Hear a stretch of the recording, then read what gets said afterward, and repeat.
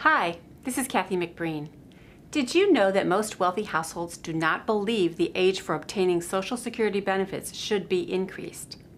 As you know, Americans are continually warned that Social Security is running out of money and something has to be done to keep the system solvent. One of the most commonly heard solutions is to raise the age at which one receives Social Security benefits. Right now, Social Security is available at age 65 for those born before 1960 and at age 67 for those born later. In recent research recently conducted by Spectrem Group with affluent households, it was found that 62% do not support increasing the age for Social Security. Men were more likely to support increasing the age at 46% compared to only 29% of women who support that change.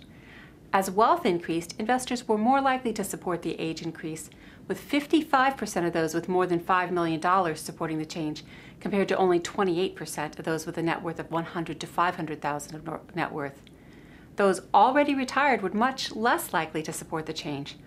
Only 31% of retired individuals supported the change compared to 49% of those still working. Younger investors were less likely to support increasing the age for Social Security than older investors. Only 34% of investors under the age of 40 support increasing the age for Social Security, compared to 52% of those 61 and over. Republicans were more likely to support raising the age for Social Security at 41% compared to 34% of Democrats, and independents weighed in at 38%. And what would be the proper age to receive benefits? 45% of investors indicated that, if raised, the age should be 68 to 69.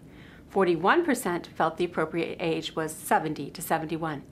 10% felt somewhere between 72 and 75 was appropriate, and only 4% supported raising Social Security payments to past age 65. This is Kathy McBreen. Thanks for watching.